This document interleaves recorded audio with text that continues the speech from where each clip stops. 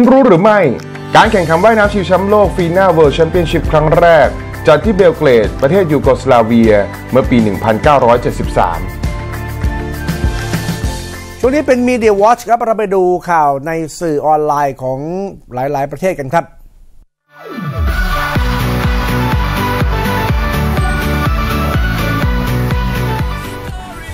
ในสเปนครับ Marca พูดถึงมิเกลแอราราครับทีมชาติเม็กซิโกครับ หนุนหลังการย้ายจากแมนเชสเตอร์ยูไนเต็ดไปอยู่กับเรอัลมาดริดของชิชาริโตครับแอราราบอกว่าชิชาริโตไปอยู่กับทีมที่สำคัญในโลกครับ ก่อนหน้านี้ก็อยู่กับแมนยูซึ่งสำคัญครับตอนนี้มาอยู่กับเรอัลมาดริดก็ถือว่าสุดยอดแล้ว แล้วก็คงจะได้เห็นเขาลงเล่นกับมาดริดมากขึ้นไปต่อกันที่ข่าวจาก Eurosport ครับ ซึ่งพูดถึงเซปป์แบลตเตอร์ ประธานฟีฟ่านั้นออกมา ปฏิเสธนะครับที่จะพูดถึงเรื่องการเมืองภายในประเทศของรัสเซีย ชาติเจ้าภาพฟุตบอลโลกปี 2018 ฟีฟ่ามีการจัดงานประชุมเรื่องการจัดการแข่งขันฟุตบอลโลกปี 2018 และ 2022 ครับเอ่อมีคำถามต่างๆ มากมาย โดยเฉพาะประเด็นการเมืองภายในประเทศของรัสเซียครับแบลตเตอร์ได้กล่าวว่าการประชุมครั้งนี้จะไม่มีการพูดถึงเรื่องฟุตบอลโลกที่รัสเซีย ซึ่งตอนนี้กำลังมีปัญหาการเมืองภายในโดย ที่ประชุมนั้นจะมาชี้แจงถึงความมั่นใจต่อการจัด World Cup ปี 2018 และ 2022 เท่านั้นครับ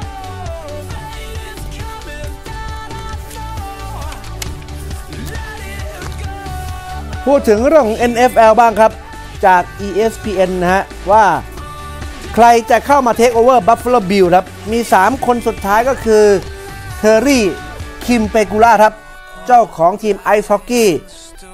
บัฟฟ a l o เซเบอร์ครับโดนัลด์ทรัมป์มหาเศรษฐีอสังหาริมทรัพย์ นิวยอร์กครับ แล้วก็กลุ่มของนักดนตรีร็อกจอนบองโจวีนะอยากให้จอนได้ ไม่ต้องเกี่ยวหรอก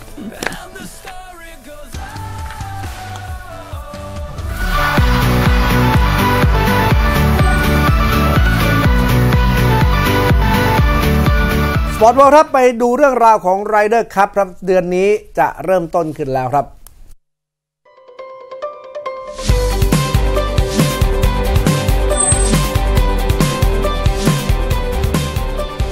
ไม่ว่าจะเป็นยุโรปหรือว่า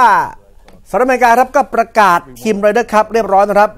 ที่ประกาศสุดท้ายก็คือทีมของทอมวัตสันนะฮะ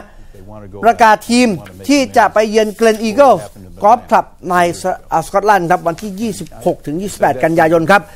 สามคนที่เป็น captain pick นะฮะหรือว่าคนที่วัตสันเลือกเองก็คือฮันเตอร์เมฮานคีแกนแบรดลีย์เว็บซิมสันนะฮะ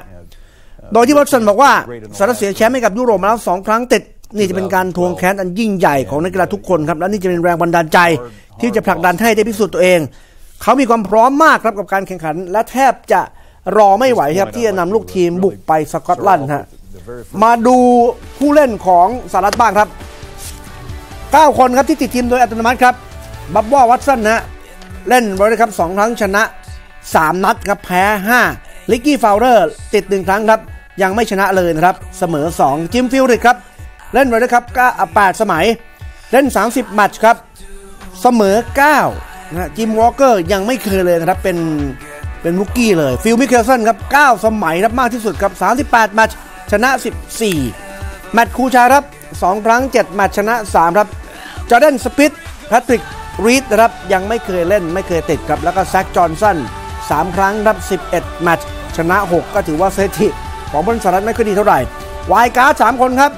คีแกนแบรดลีย์นะครับ1 สมัยชนะ 3 ถือว่าดีนะครับฮันเตอร์เมฮัน2ครั้งครับชนะ 3 แล้วก็เว็บซิมสัน1ครั้งชนะ2นะครับก็ถือว่าใช้ได้ จากฝั่งสหรัฐอเมริกาเราไปดูฝั่งยุโรปกันบ้างครับ จริงๆอะฝั่งยุโรปประกาศก่อนนะครับใช่ครับประกาศก่อนฝั่งสหรัฐเราย้อนไปดูฝั่งยุโรปกันเนี่ยนะครับ ก็ประกาศไปแล้วนะครับก่อนฝั่งสหรัฐอเมริกานะครับ It says a lot about the European tour. แม็กกินลีย์กัปตันทีมของยุโรป Now in Europe. เขาได้เลือกสตีเฟนกาลาเกอร์ครับโปรกอล์ฟชาวสกอตติชมาติดทีมเป็นครั้งแรกครับ หลังจากโชว์ฟอร์มเยี่ยมในรายการโอเพนดิตาเลียเมื่อสุดสัปดาห์ที่ผ่านมา คือในโควต้า captain's pick ของแมคกินลี่ย์เนี่ยเขาเลือกดาวรุ่งหนึ่งที่ไม่เคยติดทีม แล้วก็เลือกเก๋ามา 2 คือเอียนโพลเตอร์แล้วก็ลีเวสต์วูดโปรมากประสบการณ์จากอังกฤษเนี่ยนะครับ คราวนี้เนี่ยมันมีความลำบากใจของแมคกินลี่ย์ก็คือว่าปีเนี้ย ทีม Ryder Cup ของยุโรปไม่มีชื่อของลุคโดนัลด์อดีตโปรมือหนึ่งของโลกชาวอังกฤษที่ เคยเป็นส่วนสำคัญในการพาทีมยุโรปคว้าชัยชนะเหนือสหรัฐอเมริกาเอ่อ Be joined by 14.5 ต่อ 13.5 เมื่อปี 2012 ครับ การไร้ชื่อโดนัลด์ติดทีมครั้งนี้แม็กนีก็บอกว่าเป็นเรื่องยากมากครับ ที่เขาจะต้องตัดสินใจไม่เลือกโดนัลด์ในโควต้ากับตันพิก เขามีความสัมพันธ์ใกล้ชิดกันโดยส่วนตัวมากนะครับเอ่อพวกเขาเคยเป็น เพื่อนร่วมทีมกัน 2 ครั้งในปี 2004 หรือ2000และ 2006 ครับ และร่วมงานกันในฐานะ รองกัปตันทีมในปี 2010 และ 2012 ซึ่งทุกครั้งเนี่ยโดนัลด์ทำผลงานได้ยอดเยี่ยมมาตลอดอย่างไรก็ตามเขาต้องคิดถึงประโยชน์ของทีมก่อนเป็นอันดับแรก ไปดูรายชื่อของทีมยุโรปกันสักหน่อยนะครับก็แน่นอนแล้วฮะทีมยุโรปนำทัพโดยรอรี่แมคอิลรอยครับซึ่งติดทีมเลยนะครับมา 2 สมัย ตามมาด้วยเฮนริกสเตนสันนะครับติดทีมมา 2 สมัยส่วน 2 คน ที่ไม่เคยติดทีม Ryder Cup ของทีมยุโรปเลยก็คือวิกเตอร์ดูบิซงแล้วก็เจมี่โดนัลสันนะครับ ตามมาด้วยเซอร์คิโอการ์เซียติดทีมเยอะที่สุดแล้วนะครับ ในโควต้า9อันดับแรกก็คือ 6 สมัยครับ ชนะไป 16 แมตช์นะครับตามด้วยจัสตินโรสมาร์ตินไคเมอร์โทมัสบิยอน แล้วก็แกรมแม็คดาวล์ครับ ส่วน 3 ผู้เล่น 3 คนที่มาในโควต้า captain's pick นะครับ นั่นก็คือสตีเฟนกาลาเกอร์เอียนโพลเตอร์แล้วก็ลีเวสต์วูดครับ ดูสถิติของผู้เล่นยุโรปแล้วน่ากลัวนะครับครับ โดยเฉพาะเวสต์วูดนะฮะอืมสี่ครั้งที่เล่นในยุโรปเนี่ย ไม่เคยแพ้สหรัฐนะครับน่าสนใจมากอะฮะไปดูเรื่องราวของโค้ชบ้างครับ NFL ครับ ลงโทษจิมเออร์เซนนะครับเจ้าของทีมอิน a โ o ลิสโคด้วยการสั่งห้ามยุ่งเกี่ยวกับทีมเป็นเวลา 6 เดือนเอา6เกมครับ แล้วปรับเงินอีก 5 0 0แสนเหรียญสหรัฐหรือว่า 16 ล้านบาทนะฮะเพราะว่ามึนเมานะฮะแล้วก็ขับรถ เออร์เซโดนจับเมื่อวันที่ 16 มีนาคมครับในย่านที่อินนาโปลิสมีอาการมึนเมาแล้วก็โดนลงโทษตามกฎหมายฮะแล้วก็สารภาพว่าเมาจริง ๆ เขาบอกว่าอาการดังกล่าวเนี่ยมีผลมาจากยาแก้ปวดที่มีสารออกซิโคโดน แล้วก็ไฮโดรโคโดนครับ แล้วเจ้าหน้าที่ก็ตรวจว่าเออร์เซนี่มีการใช้ยาแก้เครียด แก้วิตกจริต แล้วก็แก้โรคซึมเศร้าครับนะฮะพวกนี้เป็นยาที่มีฤทธิ์ระงับประสาททั้งนั้นนะ เมื่อมีผลทางคดีอาญาแล้ว NFL ก็ลงโทษนะฮะห้ามเออร์เซยุ่งเกี่ยวกับทีม 6 เกม แล้วก็ปรับดังกล่าวครับ 16 ล้านบาท นี่ก็เป็นสิ่งที่สำคัญนะฮะในอเมริกานั้นจะถือว่าบุคคลสำคัญเมื่อทำผิดจะต้องโดนลงโทษให้หนัก เพราะจะเป็นแบบอย่าง เขาจะมาดูแลทีมได้อีกนะครับ ก็วันที่เจอกับฮิลสันเท็กซัสนะ วันที่ 9 ตุลาคมครับ Police. พูดถึงเรื่อง NFL นี่ต้องประชาสัมพันธ์กันล่วงหน้าสักนิดหนึ่งนะครับครับเช้าวันศุกร์นี้ติดตามชมการถ่ายทอดสด NFL นัดแรกได้ทาง True Vision เริ่มแล้วนะครับครับถ่ายทอดสดชมได้ทั้งระบบปกติ True Sport 3 แล้วก็ True Sport HD ในแบบ High Definition นะฮะครับไปดูที่เรื่องของเทนนิสกรานด์สแลม US Open กันบ้างครับ ฝ่ายชายโรเจอร์เฟเดอเรอร์ยังคงฟอร์มร้อนแรงอยู่ครับ เข้าสู่รอบก่อนรองชนะเลิศใน US Open ครับ โรเจอร์เฟเดอเรอร์เอาชนะโรแบร์โตบาติสตาอากูดนะครับผ่านเข้าสู่รอบก่อนรองชนะเลิศในการแข่งขันเทนนิส US Open Grand Slam รายการสุดท้ายของปีที่สนาม Flushing Meadow มหานครนิวยอร์กสหรัฐอเมริกาครับโรเจอร์เฟเดอเรอร์มือ 2 ของรายการจากสวิตเซอร์แลนด์ยังรักษาเส้นทางการลุ้นแชมป์สมัยที่ 6 ไว้ได้อย่างเหนียวแน่น หลังจากหวดเอาชนะโรเบโตบาติสตาอากูดนะครับมือ 17 ของรายการจากสเปนไปได้อย่างง่ายดาย3เซตรวดครับด้วยสกอร์6ต่อ4 6ต่อ3และ6ต่อ2ครับ ลอยลำผ่านเข้ารอบก่อนรองชนะเลิศโดยที่เจ้าตัวนั้นเตรียมที่จะเจอกับเกลมองฟิส มือ 20 ของรายการจากฝรั่งเศส ที่หวดเอาชนะกริกอร์ดิมิทรอฟ มือ 7 ของรายการจากบัลแกเรียไป 3 เซตรวด ด้วยสกอร์ 7 ต่อ 5 7 ต่อ 6 ไทเบรก 8 ต่อ 6 และ 7 ต่อ 5 โดยเฟเดอเรอร์กล่าวหลังจากจบการแข่งขันบอกว่า ตนเองใช้ลูกเสิร์ฟและลูกวอลเลย์ได้ดีครับนอกจากนั้นความคล่องตัวประสบการณ์ และการอ่านเกมคู่แข่งมีส่วนมากครับในชัยชนะครั้งนี้ ซึ่งเขารู้สึกมีความสุขมากที่สามารถผ่านเข้าสู่รอบก่อนรองชนะเลิศได้สำเร็จครับเราไปดูสถิติสักเล็กน้อยครับในเกมนี้นะครับแทบทุกอย่างเนี่ยเฟเดอเรอร์ก็เหนือกว่าโรแบร์โตบาติสตาอากุตทั้งหมดนะครับเสิร์ฟ ace ได้ 8 ครั้งอ่ามี double fault ได้พอๆกันนะครับ5ต่อ 4 ในขณะที่เปอร์เซ็นต์เสิร์ฟแรกเนี่ยของฝั่งโรแบร์โตบาติสตาอากุตเนี่ยมีเหนือกว่านะครับ แต่ว่า winner ในเกมนี้ของโรเจอร์เฟเดอเรอร์เนี่ยมีมากกว่ารวมทั้ง unforced error ที่มีน้อยกว่าด้วย ก็เป็นปัจจัยที่ทำให้เฟเดอเรอร์ชนะได้ในแมตช์นี้ครับ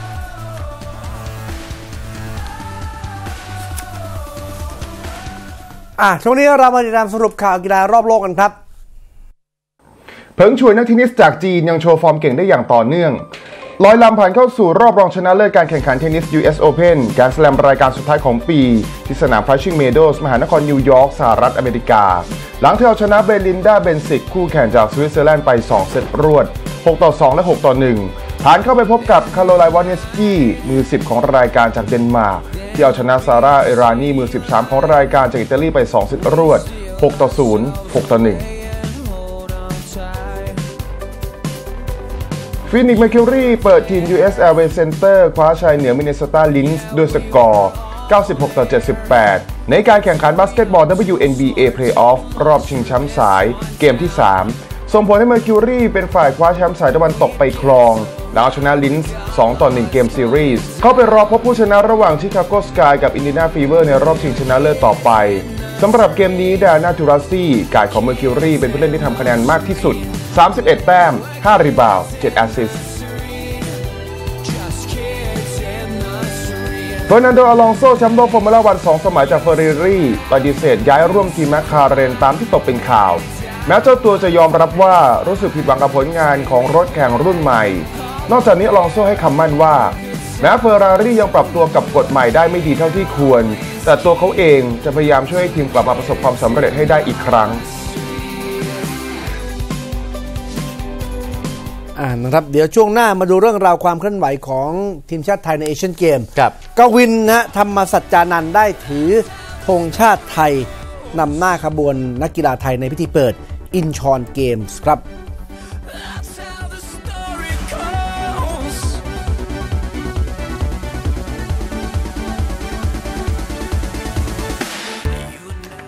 วันนี้ในอดีต 3 กันยายน ปี 1974 ออสการ์โรเบอร์สันตำนานการ NBA ของทีมซินซินเนติรอยัลส์และมิลวอกกี้บัคส์ประกาศอำลาสนาม